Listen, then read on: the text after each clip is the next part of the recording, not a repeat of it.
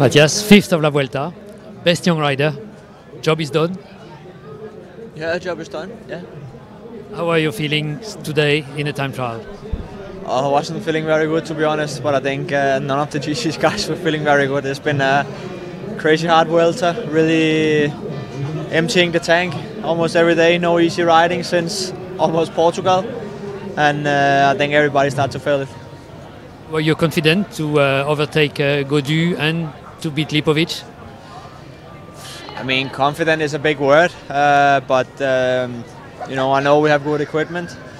I know uh, I do a good time trial, and I know if everything was right, uh, I could do it. And uh, yeah, we did it today. Is this a, a breakthrough in your career? Uh, is this a breakthrough in your career? A milestone? Uh, I'm, I'm more a milestone than a breakthrough. I think uh, my breakthrough was more in Tour de Suisse last year. Um, it's my first Grand Tour GC and to finish fifth in such a hard Vuelta with the guys in front and the guys I have behind me is a really crazy result for me.